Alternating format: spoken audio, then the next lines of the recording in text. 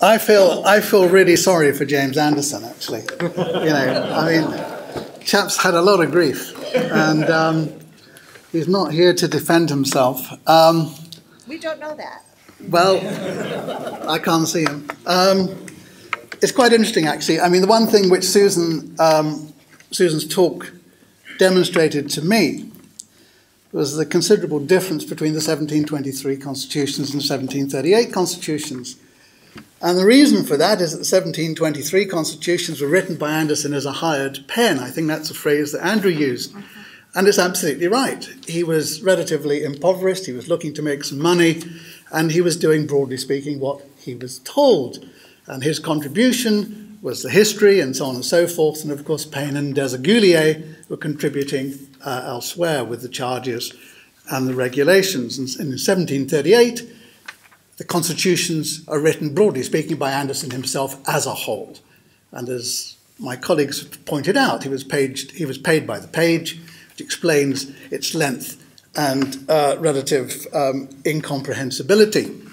now, I didn't come here to talk about Anderson specifically, but I thought I'd mention that um, by way of an intro. I came to talk about the context because you can't understand or appreciate what happened in 1717 through to 1721 without an appreciation of the background. What was happening in English society and in European society? What were the drivers that led to the creation of a Grand Lodge? Because clearly there was a substantive change at the beginning of the 18th century. Before the 18th century, Freemasonry is virtually unknown. There is almost no press no public attention. But from the 1720s, the organization takes off. It has a structure. It attracts not only the aristocracy, members of the gentry, but the aspirational class writ large. Now, this didn't happen overnight. It happened as part of a process. And what I want to talk about is the background to that process, the key drivers. Susan mentioned two very important events the Edict of Nantes and the expulsion of James II from the throne and his replacement by William and Mary. Period when Protestantism and Catholicism were facing off within Europe, and Protestantism was on the losing side.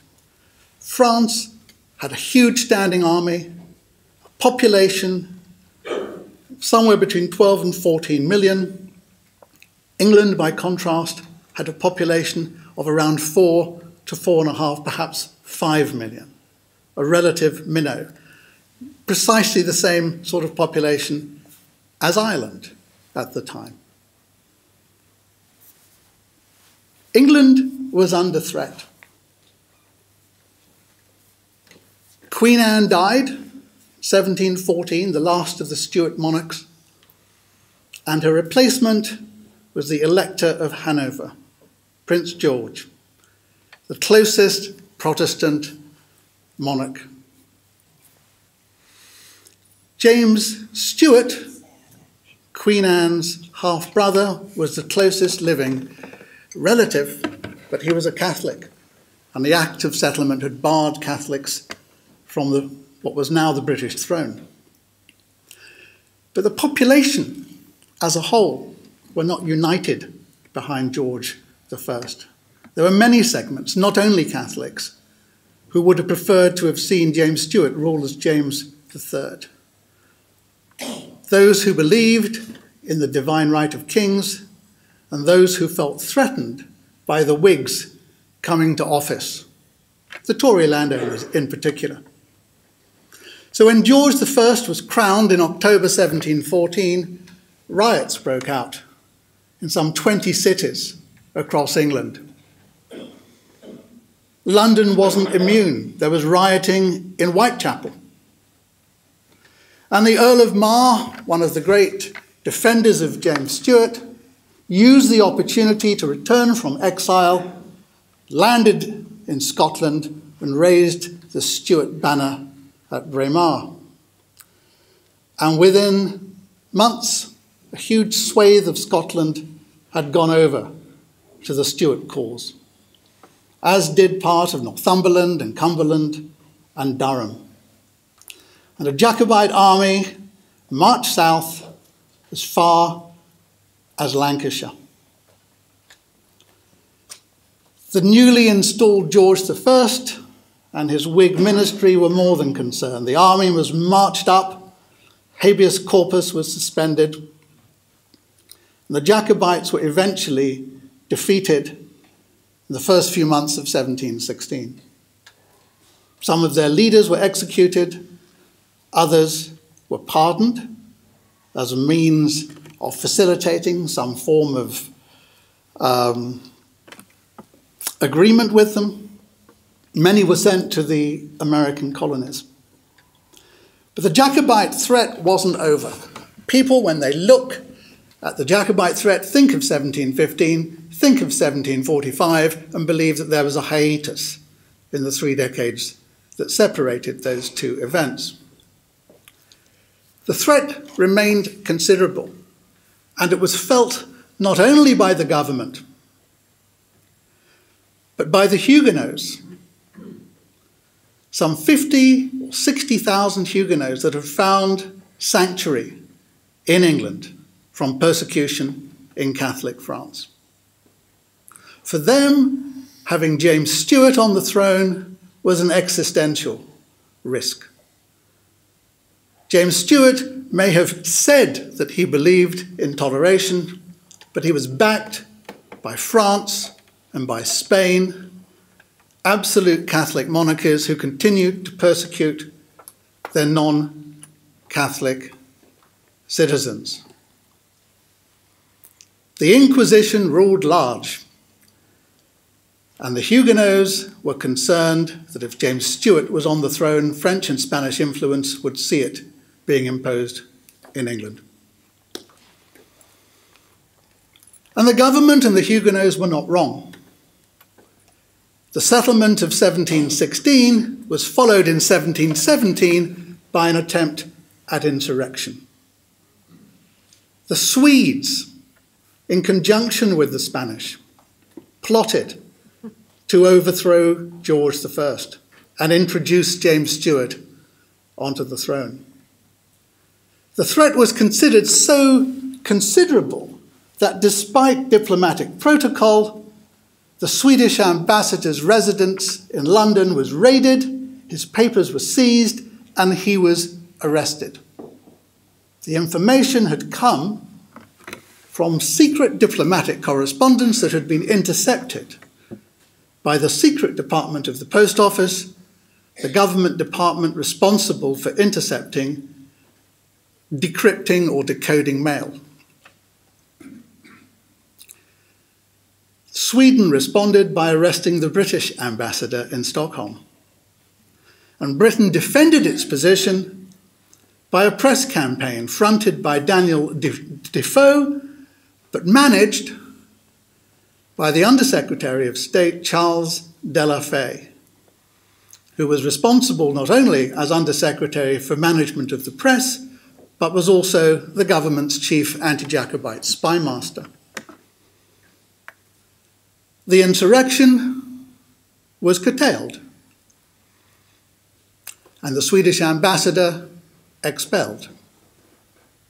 But when he returned to Stockholm, he continued, and a plan was put in force to invade in 1719, once again in conjunction with Spanish support. A fleet of 27 vessels containing some 5,000 men left Cadiz with the intention of landing in the West Country. There, they would pick up support and march on London. There was to be a second landing simultaneously with the first, on this, time, on this occasion in Scotland, where a small landing force would meet up with the clans and together march down through the length of England, meeting up in London. Fortunately for England, the fleet was dispersed by storms in the Bay of Biscay, rather like the first Spanish Armada, and the surviving vessels were called back to port. But the diversionary force, the smaller force that had intended to land in Scotland, did so land there. But again, intelligence from the secret department of the post office was used. Two frigates were sent up to Scotland. They landed, small detachment of Marines, and the incipient rebellion was put down. 500 Spanish troops were captured. Just two years later, the Atterbury plot. Francis Atterbury, the Bishop of Rochester, in correspondence with Jacobite spies, Jacobite sympathizers in Britain, and with the Stuart court, is at the heart of a plan, again, to raise James Stuart to the, the British throne. These dates are not insignificant 1717, 1719, 1721. The Jacobite Rising, 1715. The attempt at rapprochement in 1716. Figures in London who were involved with the creation of the Grand Lodge were involved with these events.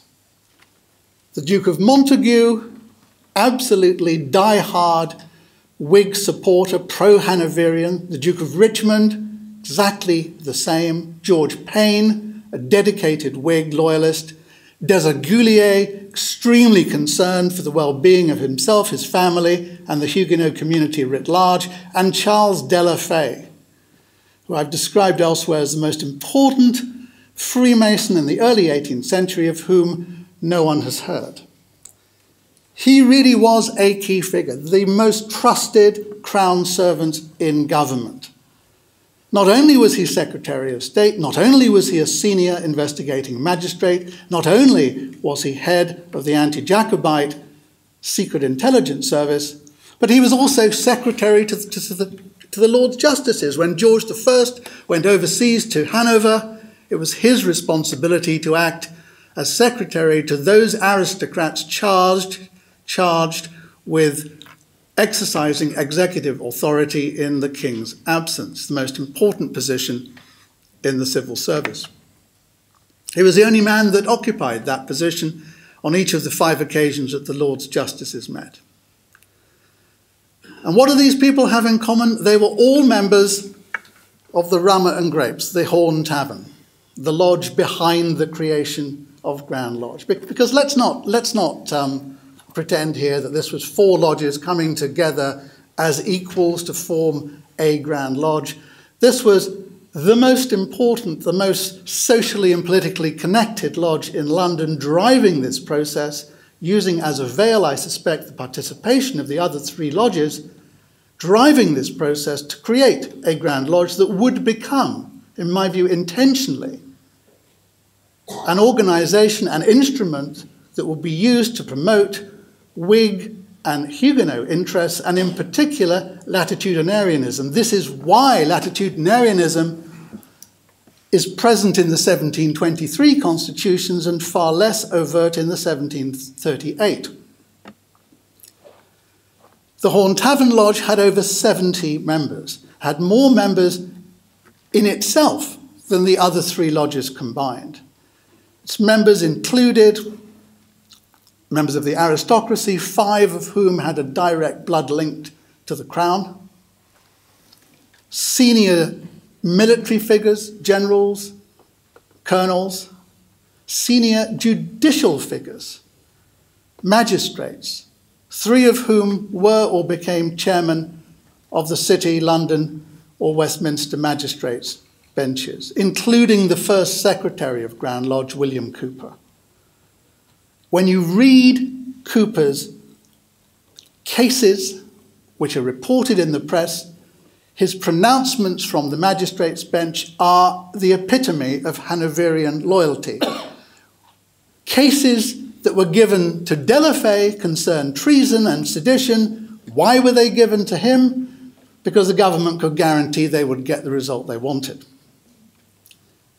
Grand Lodge was created as a construct to push forward a pro Hanoverian, pro latitudinarian agenda. It took time. In particular, it took time for Montagu to be persuaded to take the chair. Why should he, a senior, probably the most celebrated aristocrat of his day, one of the wealthiest men in Britain, the son in law of the iconic Duke of Marlborough, married to his youngest daughter, incredible figure whose, whose activities are in the press on a daily basis. Why would he associate with this small organization? He would need to be persuaded. And who would do that persuading? Well, one of his best friends, the Duke of Richmond, whose house was next door to his own in Whitehall. George Payne, who was quite well connected. And Desaguliers, a Huguenot. The Duke of Montagu's father, the first Duke, had been ambassador to Paris and had seen at first hands how the Huguenots had been treated by the French. The second Duke himself was brought up by Huguenot tutors, surrounded by members of the household who were themselves Huguenots, who had uh, emigrated from France. He was a great sympathizer.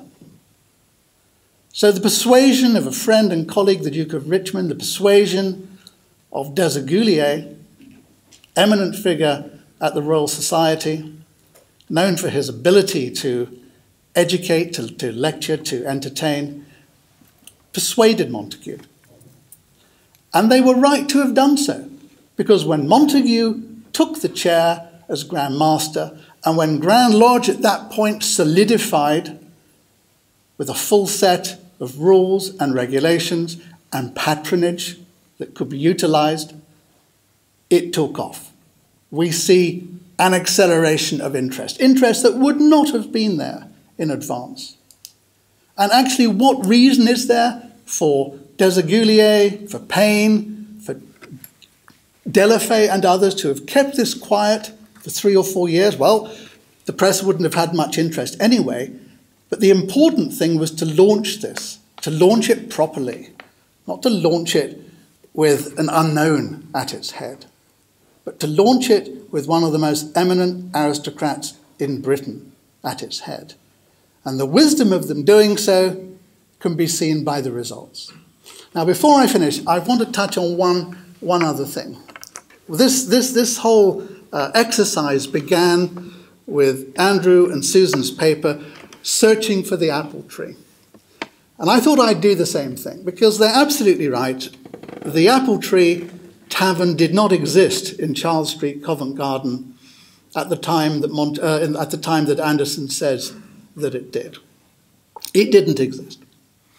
Well, Covent Garden at the time, of course, was a fruit and vegetable market, among other things. It included an apple market.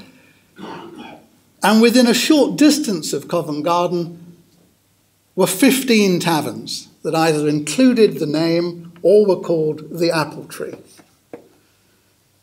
And the closest one to Charles Street in Covent Garden is only about 40 yards away in White Hart Lane, which is just between Charles Street and Drury Lane.